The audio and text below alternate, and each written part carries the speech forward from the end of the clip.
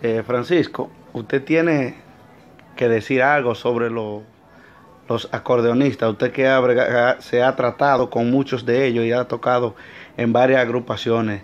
¿Qué usted tiene que decirle a los músicos acordeonistas sobre el trato con los músicos, con los músicos que le acompañan, con los que lo hacen brillar? Si usted tiene alguna sugerencia que se pueda aportar para algunos acordeonistas que supuestamente no se llevan a bien con los músicos. ¿Qué idea usted tiene para eso?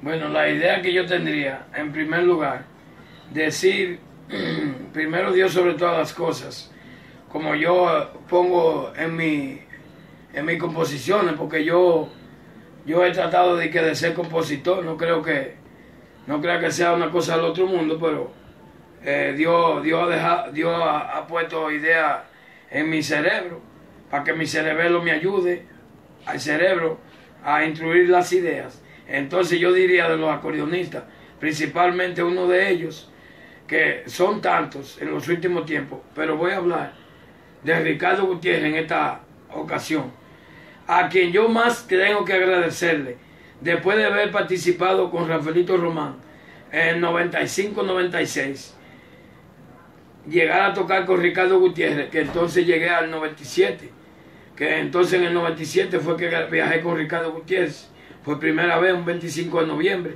un martes a las 4 de la tarde, llegamos al Bron, eh, a Girón, la 183, a las 7 de la noche, el vuelo salió como a las 4 y con una hora de chequeo, el vuelo se cogió dos horas, entonces con una hora de chequeo, eh, llegamos a las 7 de la noche allá donde su hermano, que por cierto todos los hermanos de Ricardo me tienen un aprecio un cariño como a su hermano Ricardo Gutiérrez. Y gracias a Dios y a él obtuve mi ranchito para los pinticos. Yo fui uno de los afortunados de mandar tanto dinero a los Estados Unidos que fui afortunado de sacarme una casa en Western Junior, que aquí le dicen Bismenca, pero es Western Junior en los Estados Unidos.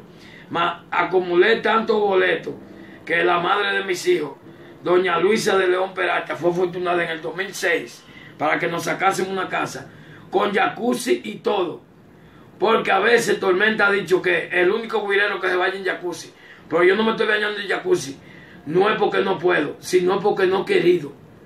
Porque Dios, Dios sabe que es así. Porque tengo bastantes amigos que me, no me pudieran bañar en jacuzzi, no, que me comprarían hasta yate.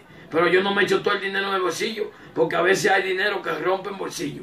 Porque si, si Dios es mi testigo que ahí está Ricardo Gutiérrez, a la hora que yo quiera, yo voy donde Ricardo, lo molesto, y de la noche a la mañana estoy en buena.